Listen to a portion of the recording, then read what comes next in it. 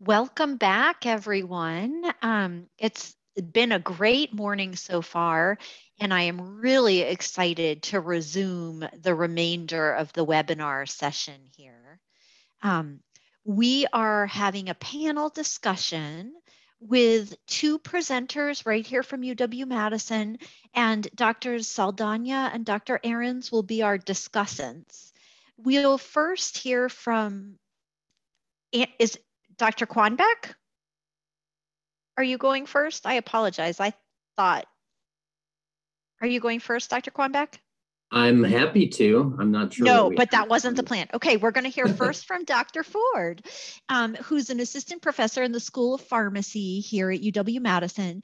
Um, and he is going to present about the development of the NIATx stages of implementation checklist utilization in a randomized controlled trial of addiction treatment agencies.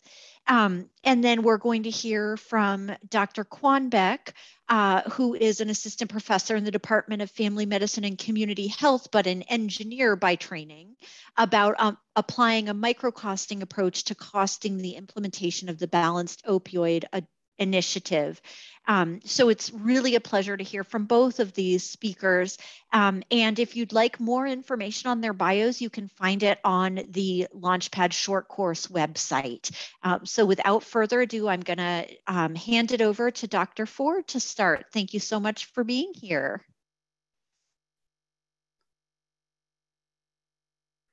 Great. Thank you very much, Heidi. I am, hold on a second. I'm doing my, getting my screen to share here. All right. There we go. Thank you very much. Uh, just like Dr. Quanbeck, we're both uh, engineers by training, so you're getting an engineering perspective today. Um, I want to talk to you about a different application of the, uh, the SIC in which we used it to develop a tool called the NIATx uh, Stages of Implementation Completion to measure organizational competency to NIATx as a part of a large randomized control trial. So as a, as a part of that, uh, just to give you kind of a brief overview of the objectives, I'm going to briefly describe the study, talk a little bit about the development of the NIATx SIC, uh, share with you some of the high level results from the study, and then really set the stage for um, a new study that we're doing uh, that's going to also be using the NIATx uh, SIC and some of the uh, ongoing challenges that I think we'll have as we move forward with this new randomized control trial. So kind of in a nutshell, the, um, the DDCAT study randomized 49 uh, community addiction treatment programs in the state of Washington to either get the NIATx strategy or a waitlist control, and then they flipped uh, and at four different time points, they were assessed uh, using the DDCAT index that was developed by Dr. Mark McGovern. The exposure to the NIATx uh, implementation strategies included primarily coaching, but they had some day-long uh, learning sessions and a couple of webinars as well. But they were really encouraged to, to work with their coach to implement change projects to try to improve their co-occurring capacity.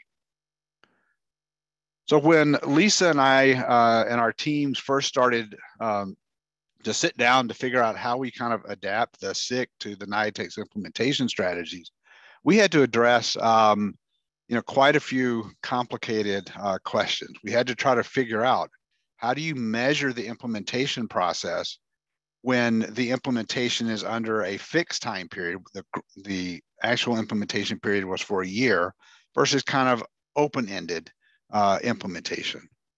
You know, given that each of these organizations may implement a variable number of change projects and have varying levels of contact with their coach, how do we need how do we account for that when we're trying to develop the SIC and to measure proportion and duration of the events that are are going on?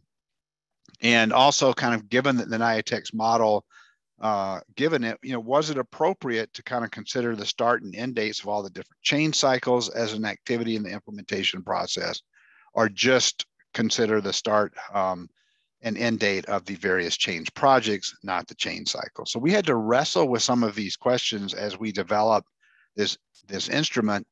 But the biggest challenge that uh, took Lisa and I a while to figure out was how do we assess competency to the NIATx implementation strategies. This is something that actually, unlike what Lisa was saying, ideally you'd figure all this out at the beginning. It took us several meetings um, for over the course of several months to figure out what were we actually going to use as a way to assess competency for the NIATx implementation strategies. So Lisa showed you kind of the distribution of items in the universal SIC uh, earlier. You can see this, this is the distribution of the items that we had in the NIATx uh, SIC. We had a few more uh, areas in the pre-implementation and had a lot of stuff in stage seven with the model fidelity and the staff competence because that's where we were tracking information about the change projects that people were engaged in, the number of coaching calls, the peer-to-peer uh, minutes, and then as you can see at the bottom, competency really was uh, measured as a score of NIATx fidelity, and and that actually involved the create using information from a separate tool that we developed as a part of this project. So just to talk about that uh, a little bit, you can see over here on the left-hand side of the screen, these are just kind of the different elements of the NIATx SIC. And we actually took the book, the, there's a NIATx book that really explains all of the key steps. You know, did you take time out to um, understand your customer? Did you focus on a key problem? Did you select the right change leader? Did you generate ideas from outside the field? Did you document what was going on inside of your change project? You know, how did you select your change team members? And then was there kind of a sustainability plan and a business case for the different change projects? And we actually developed a, a second tool that was very similar. It was a five point kind of scale where we used actually qualitative, a qualitative approach to kind of look at documentation, listen to interviews, um, and other available information from each of the agencies. And we actually rated them uh, on the degree to which they were adhering to the NIATx model. How much were they doing that? And then we use those results to kind of dichotomize the organizations into being competent or not competent as it relates to NIATx. These are just some of the key results that we that we saw looking at kind of a in a per protocol analysis. We found that there were large, moderate to large effect differences in the overall DDCAT score uh, from comparing the NIATx, the initial NIATx group to the waitlist group.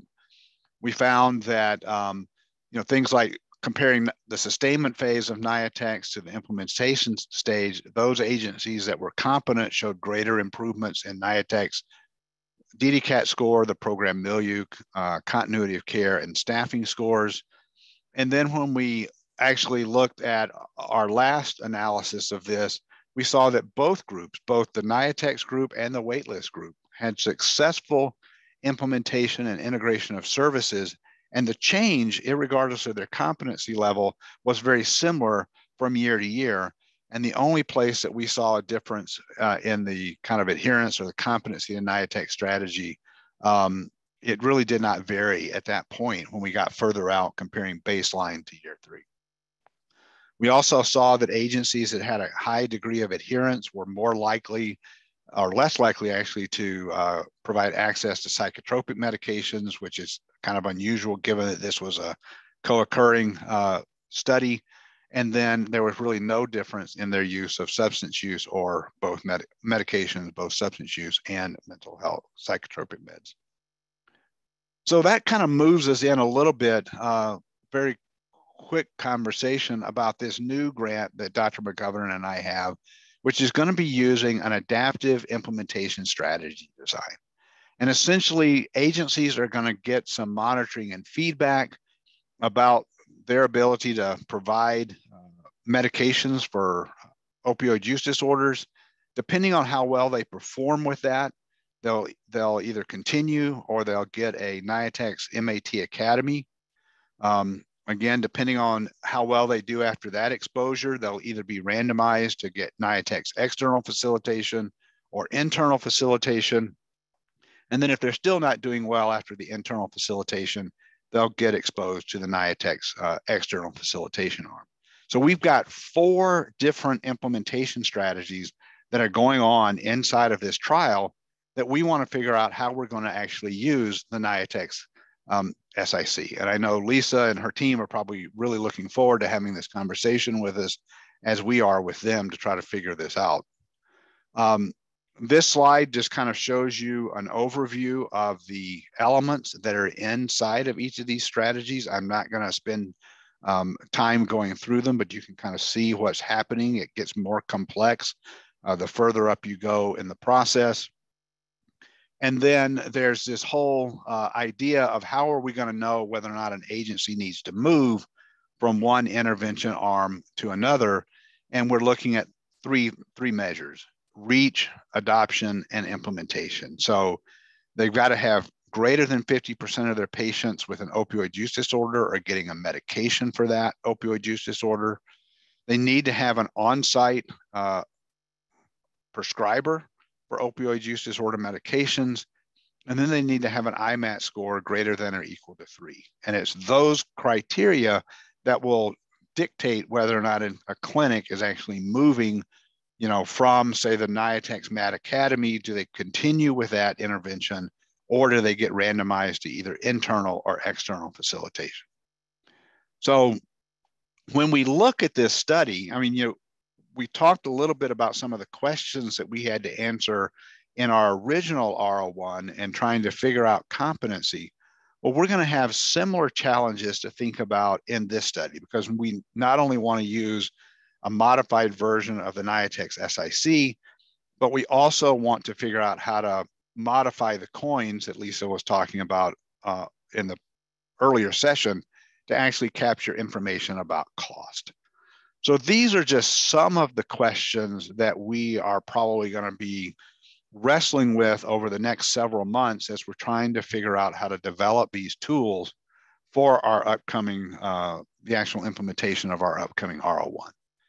So how do we develop this instrument, um, you know, to measure the proportion of activities completed and the duration, you know, across each of the four implementation strategies? If you remember going back and looking at that table, what's involved in each strategy is very, very different. So we would expect that the NIATx SIC for each implementation strategy would be very different. You know, how do we define and measure implementation strategy competency, you know, given the unique structure of each of the different implementation strategies? And then what impact does the exposure of the different implementation strategies have on uh, the assessment of competency as well as measuring proportion and duration? And what do I mean by that? You know, an agency could, um, after they got their benchmark report and after they went through the academy, they could then get exposed to internal facilitation and then again external facilitation. And each of those strategies is going to kind of have a different kind of NIATx SIC associated with it. But how do you kind of add all of that together, put all those ingredients together as they've been exposed to these different uh, components to determine competency at the end of the day? Once they've been exposed to everything, how are we going to assess and measure competency? And then the last, and that's kind of leading into this last question is, you know, how do we address competency you know, if a clinic is exposed to one or more of the implementation strategies. The other thing that I didn't mention just real quickly is you can kind of see the X's, the red X's in this um, image. And basically it's possible for an agency who's doing well at a subsequent uh, assessment point to drop back into one of the other strategies. So now you've got a delay where they were out of it and now they're back into the study and how do you how do you address that so this is just some contact information i know we'll have time for questions uh, later on so just thank you very much for your time Thank you very much, Jay. Now we're looking forward to hearing from Dr. Quanbeck or Andrew. Can you share your screen, please?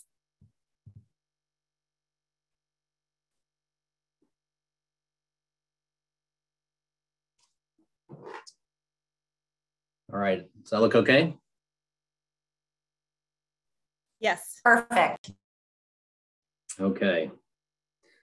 All All right, well, thanks for the opportunity to present today. Um, I'm excited to share some information on uh, current implementation research that we're leading at UW-Madison. Um, and this is a project that has an explicit focus on costing implementation strategies. So really kind of relevant to the theme of our, our short course for this year. Um, I want to first acknowledge um, funding that supported this line of research from the National Institute on Drug Abuse and offer special thanks to research team members uh, Rose Garza Hennessy, Nick Schumacher, and Morgan Burns, who are uh, running the study that I'm going to be describing today. So let's set the stage. Um, why should you care about implement, uh, implementation costs?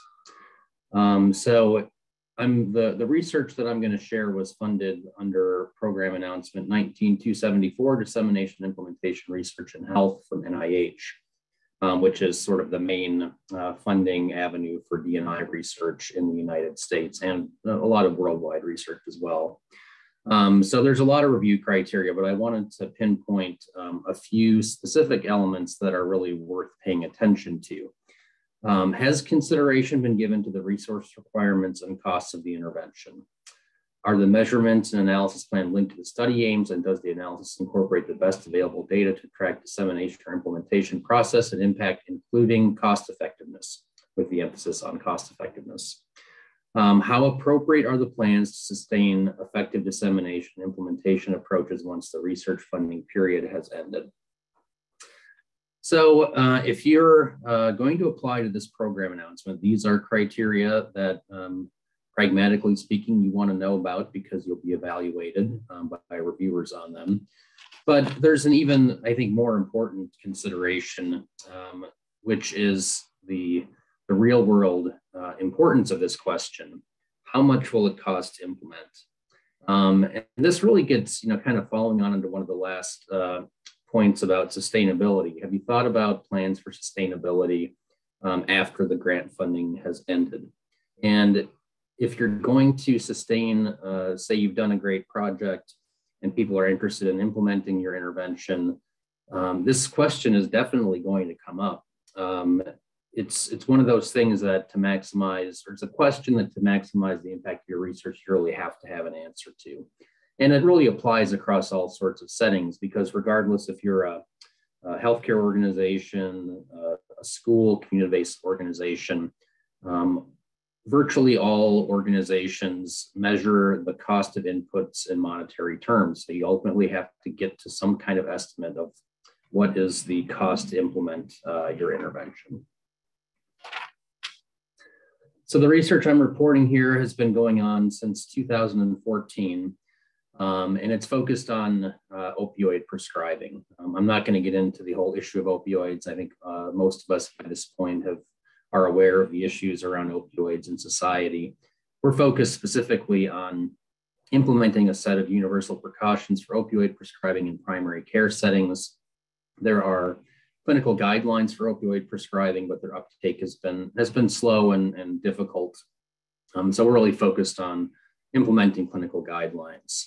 One of the important things that's uh, in the guidelines is that uh, there's evidence showing that the risk of overdose is directly correlated with the average morphine equivalent dose. So our our primary outcome is, is trying to reduce the average morphine equivalent daily dose across uh, sites participating using an 18 month uh, adaptive implementation strategy.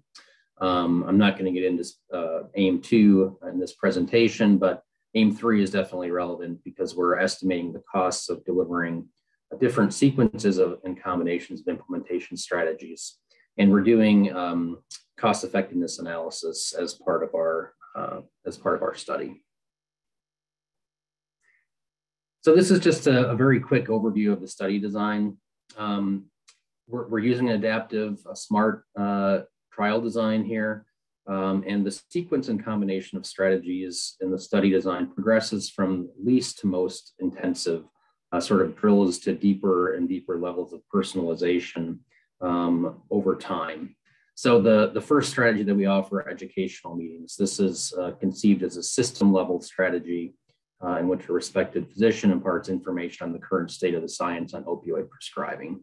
Um, uh, our system level strategy also includes performance feedback reports um, so that um, clinics can kind of know how they're doing on their opioid prescribing metrics.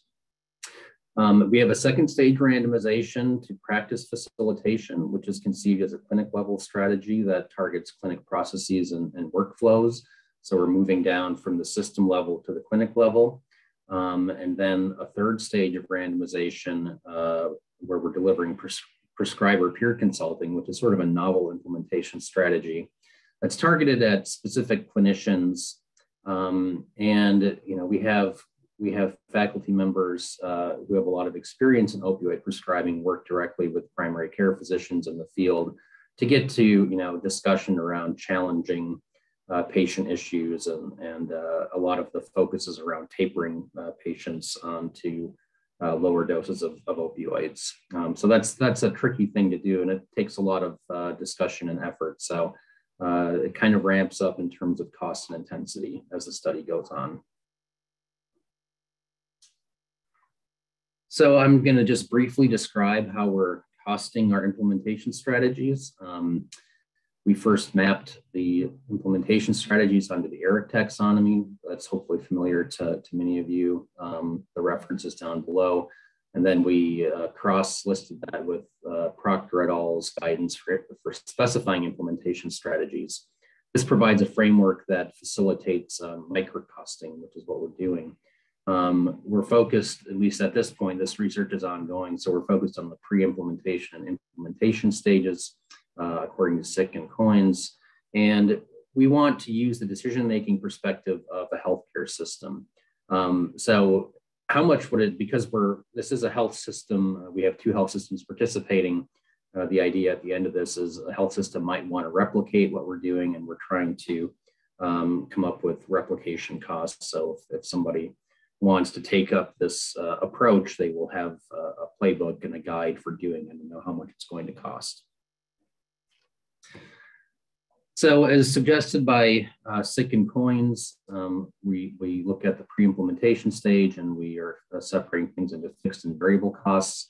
This is not um, meant to be an exhaustive list by any means, uh, but just sort of illustrative of uh, some of the things to, to look at. Um, the way we've conceived that we don't have fixed costs in the pre-implementation stage, but variable costs um, really have to do with time, uh, you know, IT staff time to develop quality monitoring systems, consultant time, to develop uh, educational content, and then to, uh, time to, to train our prescriber peer consultants. Um, fixed costs in the implementation stage, um, you know, we look at things like uh, we're delivering all of our uh, implementation strategies remotely, so we have to have uh, uh, subscriptions to WebEx is what we're using uh, primarily uh, in our environment to deliver uh, implementation meetings. but really, the largest costs are variable costs in terms of time. Um, clinic staff's time away from clinic duty, duties, scheduling events, presenters at educational meetings, facilitation, uh, et cetera. Um, this is quite typical of uh, implementation research in general, where uh, labor costs really do predominate. Um, that is certainly true of our study and is, is true of most implementation research studies that you'll see. I want to quickly demonstrate how we map the ERIC taxonomy and the Proctor frameworks um, using facilitation as, as an example.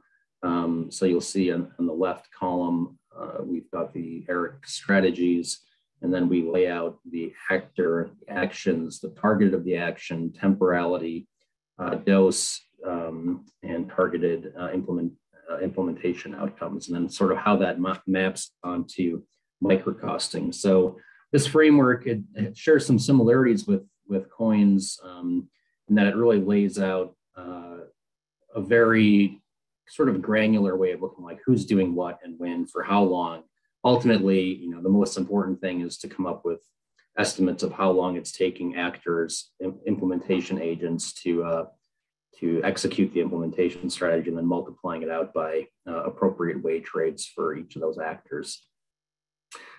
So as far as data collection is concerned, um, you know, really it gets down to just really keeping track of time, um, contact logs, uh, a lot of the uh, contacts can be sort of passively monitored through calendars and uh, email uh, records and things like that. Um, time logs uh, really depends, is the responsibility of the implementers with a lot of prodding um, from the research team to make sure that uh, uh, they're keeping track of all their implementation activities. And so there's a bit of an investment. Uh, we estimated about four months, uh, four hours each month to, uh, to keep track of time costs for our study.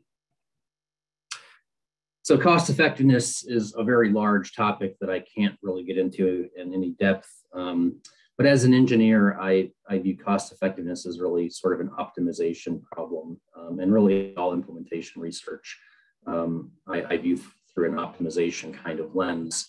And we want to help decision makers weigh the costs and effects of using different implementation strategies. You know, what, what kinds of returns are you going to get for the, uh, the economic investment in, in, different implementation approaches? And ultimately, um, you know, there's different perspectives that can be taken, but as I mentioned earlier, we really want to use the perspective of organizational leaders who ultimately make the decisions about the adoption of evidence-based practices in organizations. Um, and then again, we're going to be using incremental cost effectiveness ratios to uh, quantify the trade-off um, in terms of uh, you know reducing morphine equivalent dose is going to be our primary outcome. Um, so how much does it cost to, to reduce dose to, to what degree? Um, so I just wanted to close by pointing you to um, uh, some things that are coming down the pike here, other, other good uh, resources. Again, uh, this first one is, is Lisa's um, uh, the COINS model, kind of first on the scene here and provides a great example of how to apply COINS. Um, a couple of uh, newer uh, applications by Garner et al. Um, kind of use this, this cross sort of matrix matrix representation of ERIC with the implementation strategy uh, specification, um, and that was published in 2018, and they did a full cost effectiveness analysis there. Uh, the Quanbeck article um, is just the protocol for the paper that I talked about today. And then uh, Cidav and colleagues sort of generalized the approach um, uh, of how you can use time-driven activity-based costing, which is a micro-costing approach similar to what we're doing to uh, estimate the cost of implementation strategies. Um, so I suggest checking out all of these resources for examples. Um, finally, things coming up down the pike, there's going to be a special issue on economic evaluation, implementation science. Um, uh, some of the first articles are, are starting to be published now. Uh, you can read more about uh, the special issue at this link and keep an eye out on the implementation science site. I know that Lisa and I are both working on papers for this, and uh, and there'll be a good collection uh, on this topic coming up. Uh, and that's it. Here's if you want to read more about research that we're doing, you can check out our lab website and feel free to contact me by email with any questions. I'll stop sharing. Thanks. Thank you so much, Dr. Quanbeck. That was fabulous, and Dr. Ford as well um, I feel better knowing that you two smart people are tackling the this the opioid epidemic. Um, we are we have Dr. Aarons and Dr. Saldana as discussants, but we found yesterday that there were so many interesting questions from our participants that we wanted to encourage our participants to go ahead and place questions in the Q&A and we will raise them as our discussion um, as our discussion progresses. And I see there are already a couple of questions already here. Dr. Saldana or Dr. Aarons, do you have burning comments or should I go right to our audience um, questions? I'd be happy for you to go right to the audience questions. And then um, if we have time, I definitely have some thoughts and comments myself, but I'd love to hear from the audience. All right, excellent. Oh, Same sorry. Here. I'm just going to say same here. So let's let's go with uh, participants. Excellent. Um, so the first question is, what are the key considerations for who does what in an implementation effort? How much do you consider expertise, profession, background of individuals, level of training and salaries? And how do you negotiate that with all the stakeholders that are or could be contributing the personnel to the project? this question is totally resonating with me, with me as I think about sustainability and who pays for what. Yeah, I'm I'm happy to offer a first thought and love to hear from Jay as well. Um, it's a great question, and and I think you do have to think carefully about it. Um, you know, for instance, in our our study on opioid prescribing in primary care settings, we have this multi-level kind of implementation framework, and you know, we learned we did we had an R34 clinical trial planning grant that helped inform the R01 that we're currently running. One of the things that we you know sort of learned and was or hypothesized and was really confirmed in the pilot stage is that you need physicians to be involved, um, actively involved in efforts to change practices around opioid prescribing in primary care settings. Um, and if you go back to the to the source literature on this topic, uh, I think of Rogers' diffusion of innovations and the concept of homophily, which is uh, refers to the degree of similarity between change agents and the, the persons that they're trying to influence. So you could think of that as like the actor and the action target. So we didn't think it would make, when we're getting to a, an issue like, all right, I have a patient, you know, who's co-prescribed benzodiazepines and, you know, has uh, troubling urine drug results. That's a that's an issue that only a physician can advise another physician on, uh, which doesn't have very significant cost consequences. And it's sort of why we're saving it for the last stage. Um, because you know we're looking to see what kind of an effect we can have with with more distance-based um, and less costly approaches to implementation. So the the facilitators um, are not MDs; they're working with more of the clinic staff. Um, you know, most of them have sort of master's level training and a lot of experience with uh, workflow management and organizational change. Um, so it really depends on the the type the sort of target of the action using the Proctor framework, um, and you know making sure that you're matching the change agent with the with the action target. I think is the important consideration from my perspective. What are your thoughts, Jay? Yeah, I, I would agree with um, a lot of what you said there, Andy. I think one of the other things that um, thinking back to when we first got involved in working with behavioral health organizations, you know, oftentimes the people that were involved in the implementation effort were those people who were, um, you know, driving the process. So, for example, you know, if you were trying to figure out how to implement changes to reduce wait time or reduce no shows, you know, you might have been in, you might have engaged, uh, you know, staff that were the, the first people that the client saw coming into the organization. Um, you know, you might involve the, the billing people, you might involve the office manager, as well as some counselors, you know, to be the ones that were kind of being the implementation agents for that change in the organization. And so, you know, the skill levels or the mix or the salaries that were associated with those folks, you know, would be very different than say if you're implementing, you know, an evidence-based practice like seeking safety, because there may be very different people um, that are coming into the mix.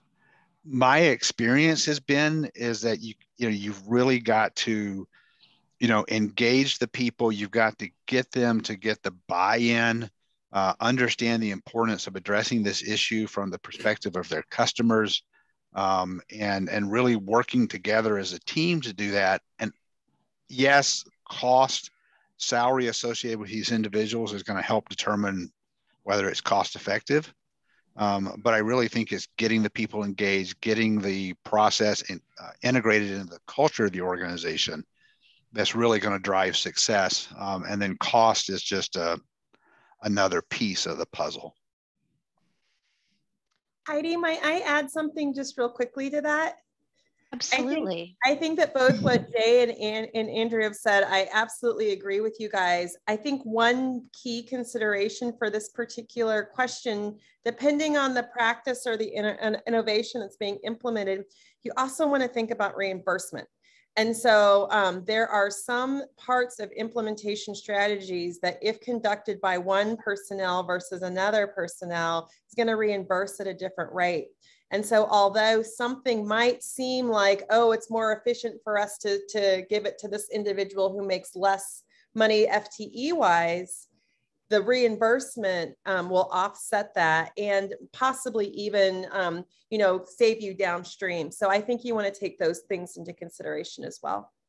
Yeah, and I'd, I'd like to just build on that. Those are great points. And the reimbursement and funding uh, is really related also to what specific practices can be supported.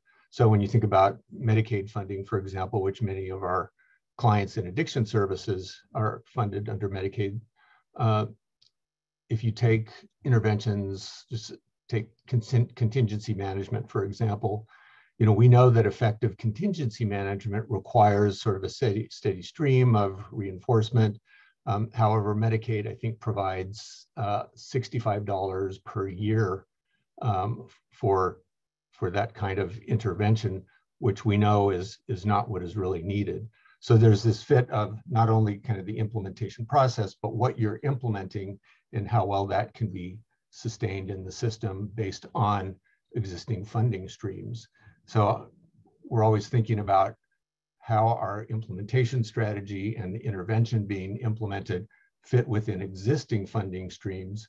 And if it requires more beyond that, who can be engaged at policy or organization level to help support or explore those increased costs that might be needed to sustain uh, a practice once it's implemented. There's a question in the q&a about differentiating new costs of hiring staff versus operationalizing implementing strategies using existing personnel.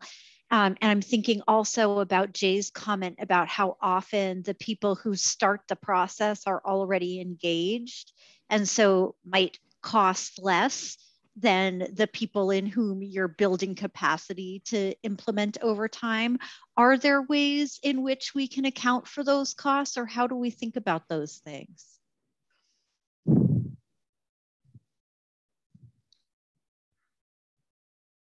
Jay and Andrew, did either one of you do that in your in your studies? I wasn't. I'm not sure if they were new hires or if they were just assign um, assignments of old hires.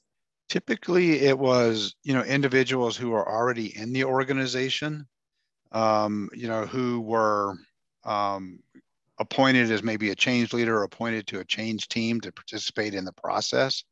Um, you know, I I, I haven't experienced you know necessarily with the with the exception of dealing with like staff turnover you know where there may be a new person being promoted into um, the process um, i have seen in studies that I've been doing across multiple settings that oftentimes that change in key individuals in the implementation process, you know, do have a potential to kind of derail the whole um, the whole process. I, I think when we were doing the DDCAT study in the state of Washington, you know, some of the agencies that probably dropped out if we really asked them and never achieved competency were ones where they had just too much staff turnover um, and just never could get things going again. Um, but I don't know, Andy, do you have thoughts about like new call, new uh, hires versus existing staff? Yeah, it's that's definitely a tricky one. Um, I think that in a sense, it's sort of integral to the way that you specify your implementation strategy.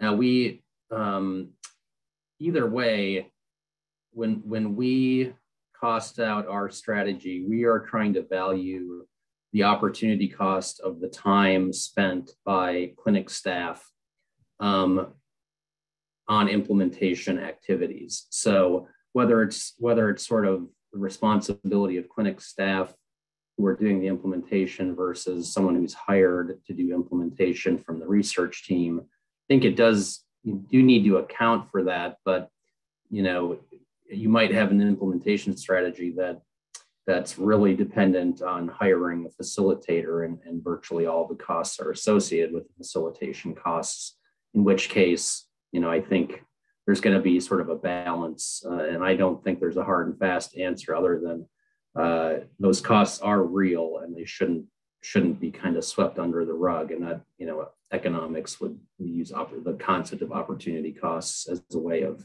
making sure that we don't ignore things that are actually relevant to, to somebody yeah, and I think those points again are really great when you're thinking about it from the defining your um, your implementation process perspective.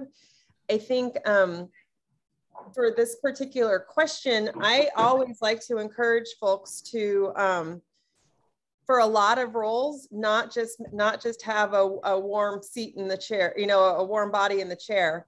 And so um, I, what I see happen a lot of times when we're bringing in new um, implementations or new innovations, especially if it's an agency that's de-adopting one thing and then replacing a new thing, that there's a tendency to want to just use that existing staff for that um, implementation. And while sometimes that is absolutely an efficient and okay thing to do, um, other times it's not and so I think before making those decisions, I would just encourage anybody to do a real thorough assessment of the needs. And again, this goes back to what we were talking about in terms of the function, the function of the strategy, and how can we serve and get that function accomplished with those particular individuals. Um, and it just depends on the implementation and on the intervention. Yeah, this is such a simple question with so many important uh, nuances to it. I, I, love it. And you know the the idea of thinking about you know workflows of all the people involved whether you're you know i know andrew you mentioned you know organization leaders but there are many levels and who's going to be implicated? What do they have to give up in order to participate in this implementation? Or can the work that you're doing really be integrated? Are, are critical questions. And then this idea of you know can we turnover proof uh, implementation and sustainment, right? It's, it's something that is an issue in the field. Um, so how do we create the processes and supports so that once our project ends, uh, if, a if a practice is being sustained, how is turnover accounted for? And we've wrestled and struggled with that. I wonder, both um, Andrew and Jay, how you've sort of thought about that. Um, that's a good question, Greg. I think one of the challenges with the turnover is to, as you're going about developing your processes that you want to, to integrate, is how do you put that into the fabric of the organization? You know, how do you kind of institutionalize the changes that you've made? Because if you've done it well, you know, then I think what should be able to happen, you know, is a new person should be able to come in, should be able to spend a little bit of time studying the process, um, you know, understand how they're supposed to implement it, and then basically just pick the ball up and and run, you know, run towards the you know the goal line of keeping things going at you know over time. That doesn't happen very well, I don't think, in a in a void where leadership is not really supportive of the change. Um, you know, it's very interesting. Some work I did around in the in the VA years ago, you know, talks about uh, or found out that you know leaders in an organization may have a very different perspective about uh, sustainment than the actual individual employees who are boots on the ground doing the work. So I think it has to be that your processes are integrated into the fabric of the organization, and then leadership has to be able to support that going forward. Um, and I think if those things happen, maybe turnover can survive. But I agree with you; it's a complex issue that I don't think we have all the answers to yet. Yeah, Greg, I'm I uh, you mentioned the chaos. You have 20 chaos factors. Um, is turnover one of them? Because I would love to understand how you're dealing with it. It's certainly, you know, I think it's something that every project has to deal with, and we're certainly dealing with it to a large degree. You know, we've had uh, massive turnover, especially among medical assistants in uh, the health system, one of the health systems that we're working with. And exactly how we're going to account for that, I think, is a bit of an open question at this point.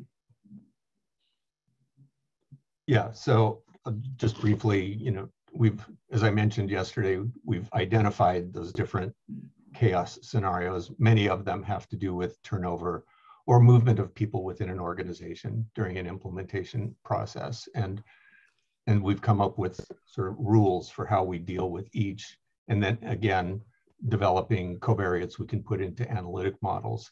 But it's, um, yeah, we've also been thinking about, you know, what interventions, what evidence-based approaches might be more robust uh, in the face of leader turnover, staff turnover, and those sorts of things. And that's where we're very excited about a couple projects we're working on that are implementing different technologies um, to support quality of care. So you're you're prompting me to really work on that paper and, and get it out there. So thanks. We can go back to the questions now. Because there are um, a lot. There are two votes for have there been replication studies to see how closely implementation cost estimates in one context transfer to other contexts? And if so, what have we learned? Are estimated costs generally accurate or much more variable than predicted? And then there's also a request from somebody else for um, any examples outside of healthcare. So perhaps if if there are replication studies looking at implementation costs um, in other fields as well. That would be helpful. Um, I can take a crack at the replication question um, because I've been sort of, I'm working on a paper where we've looked at this and I think the short answer is no. Uh, the, the the level of evidence around implementation strategy costing um, is is developing at this point. So systematic reviews have not come up with. I mean, usually they conclude poor and variable quality of implementation strategy costing uh, in a nutshell.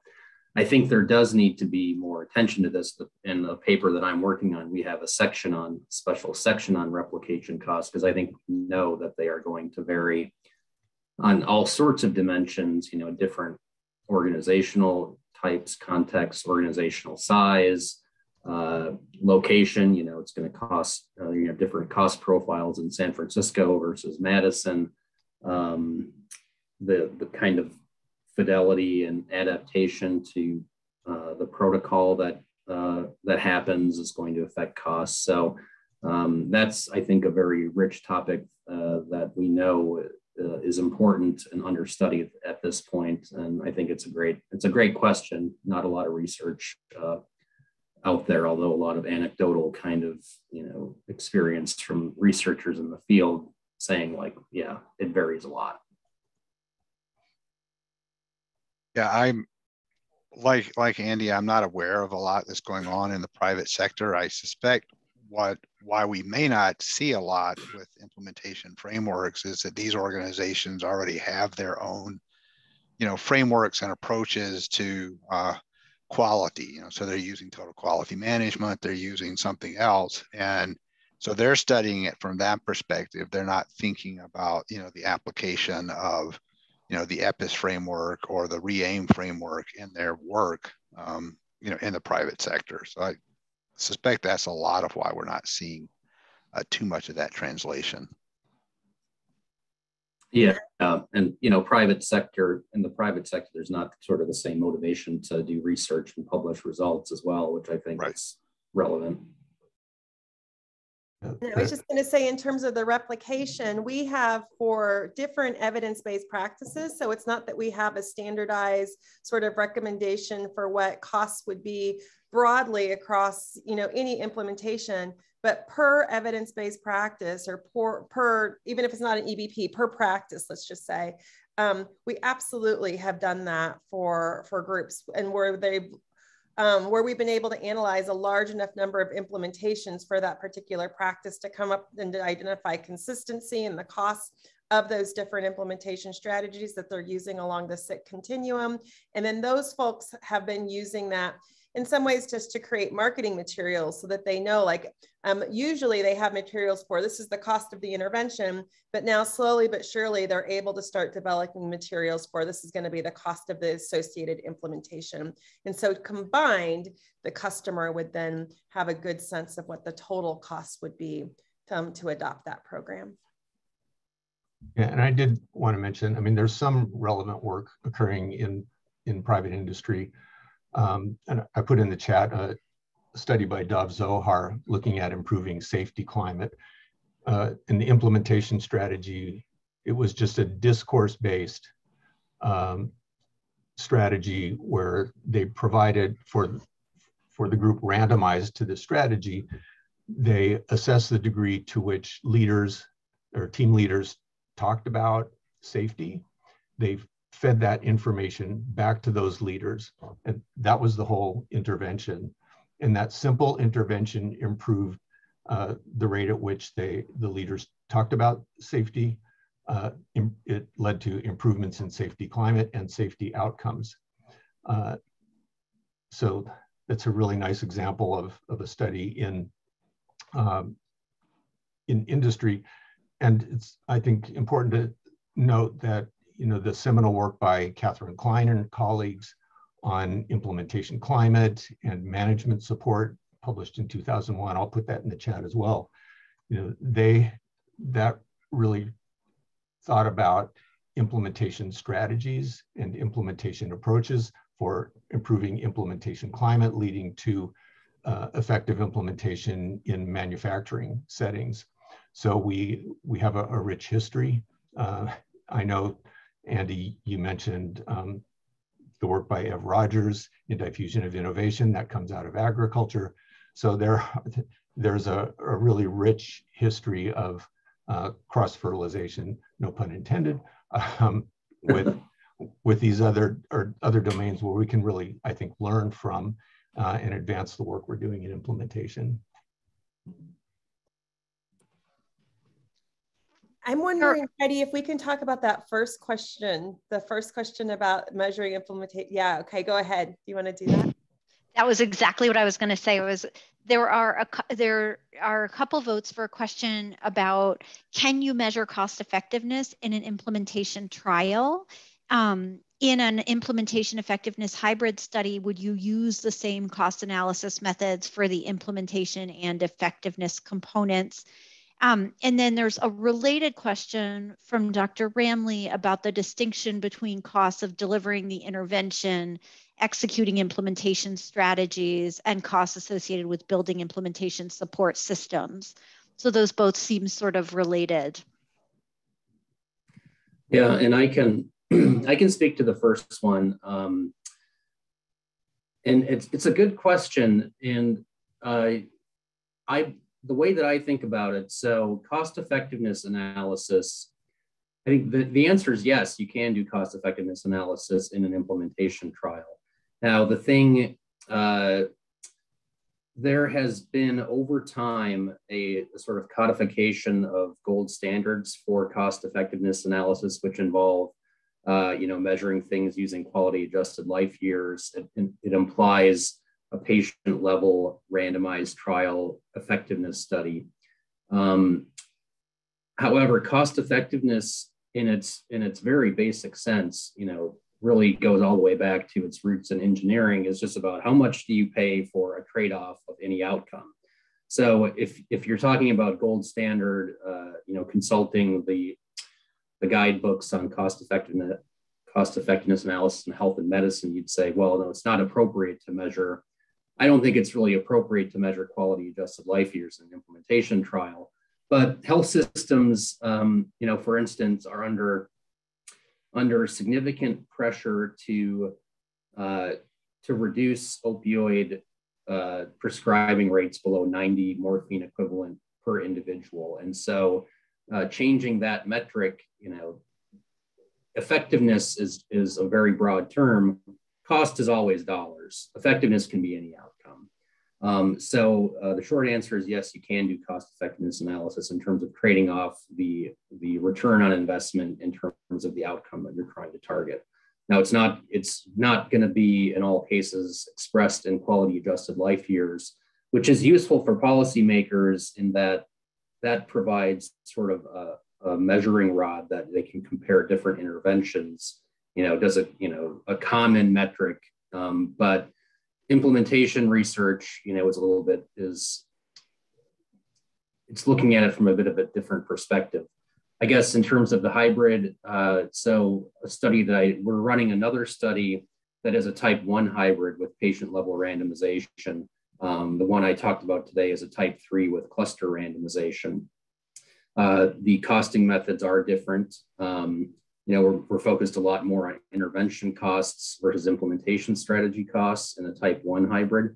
And we actually are doing uh, sort of standard cost effectiveness analysis with quality adjusted life years as our primary um, metric. So hopefully that kind of uh, speaks to the uh, to that first question. And I'll turn it over to someone else to, to tackle the second one or, or to add on to, that to that response. Um, you know, Andy, I agree with what you had to say about, you know, the the whole cost effectiveness and you know and the challenges there to kind of address the question that I think um, Edmund is raising is is I think there's a couple ways to look at it. When you're looking at the implementation, you know, of the intervention, you know, there might be individuals that are involved. So you might have a unit clerk, you might have a nurse, um, you know, you might have a, an LPN who are involved in implementing the particular um, intervention, and you probably want to get a sense of how much time you know, are they spending associated with implementing that intervention? And their time can probably be both direct and indirect. So, you know, if they're delivering something to a patient, you know, you probably want to capture that time as kind of direct cost associated with delivering that. On the flip side, they may be spending some time in meetings discussing how they want to implement the intervention. And that may also be something, you know, that you want to capture you know, if they're being guided by a coach or an external facilitator, you know, you have to kind of make a decision as to whether or not I think you want to include that cost. When we were doing the NIATx 200 study, um, you know, we did include the cost of the coach, you know, so when they were going for a site visit, how much time were they spending, you know, with the organization? Um, you know, if they were delivering content at a learning session, we captured that time for them the, the issue of the technology and developing something um, you know for the study you know my inclination would probably be that that would be something you would exclude and andy may disagree with me because it's something that's going to be applied universally you know in the system for multiple people to use and if you're realistically going to do it it takes me back to the days of thinking about Medicare cost reports where you had a cost of the facility services and it was spread across the organization or to the different cost centers based on like how much uh, square footage they took up in the building. And I think if you're going to do that with building a best practice alert, for example, you'd have to distribute that cost based on some metric. And then you've got the whole argument of, well, why did you choose this metric versus another one? So I don't know, Andy, if you think I'm off base with that last comment about the implementation strategy or not. No, I, I agree. And I would just say that I think that that's exactly right. And then, but keeping in mind that there are those pre implementation costs, right? So sometimes our pre implementation costs are one time costs. Um, sometimes they are uh, sunk costs um, and, and costs that we forget about, but they are very real costs to whoever it is that's bringing in that new innovation. And so if they have to do the programming, bring in the new technology, absolutely, it's not an ongoing implementation cost, but there's still those startup costs and we need to make sure that they can do that with quality for the rest of the implementation. Yeah, it might get to the the concept of replication. Um, mm-hmm because you, know, you don't need to develop, uh, redevelop everything from scratch, but there might, and it, it's going to vary by project to what extent you have to consider like, well, what needs to go into the startup phase that that does need to be that you can't skip basically and i think you want to include things that are required for replication with fidelity mm-hmm we have a really interesting um, follow-up question from Dr. Ramley about whether the outcomes of a cost effectiveness analysis could be things like reach or adoption as opposed to effectiveness outcomes. Um, but we only have one minute left. Does anybody have a, a quick answer to share? Yes. I, I agree. Yes goes along with the previous point. I mean, if you're going to be uh, cost effectiveness is a broad concept, and I think you can put any outcome into the you can put any outcome into the um, uh, denominator uh, of your choosing, whatever's relevant. And I'll say that we have a manuscript under review right now where we um, are showing just that. And so if if that, I'm not sure if it'll be accepted, but if it is accepted, that should be out in a couple of months. And what we do is we go through some examples of how you can use traditional cost effectiveness methods, but with implementation outcomes as your as your denominator. That's very helpful. This has been a really engaging and interesting session. At this point, we have a 15 minute break. And the next portion of the afternoon, which is the interactive portion, and I encourage you all not to go away, to stay and apply what we've discussed this morning, including doing some hands on tools um, to apply SIC and COINS. Um, the that is going to be a zoom meeting link instead of the zoom webinar. So we're actually going to go ahead and close this webinar during the 15 minute break. And we invite you and encourage you to join the day two meeting link that rachel has placed into the chat starting at 145 thank you very much um, to andrew jay greg and lisa for this session. It's been really really interesting. Thank you. All right, thanks.